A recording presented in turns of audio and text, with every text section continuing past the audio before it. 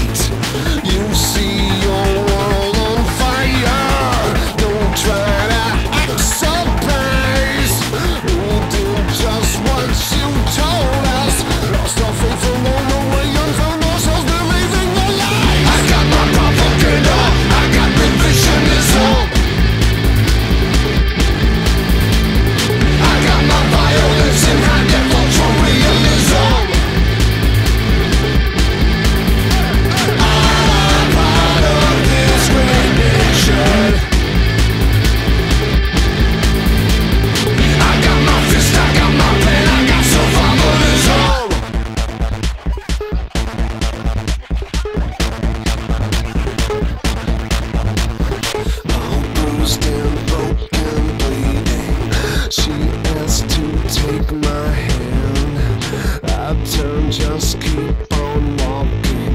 What you do the same thing in the circumstance, I'm sure you'll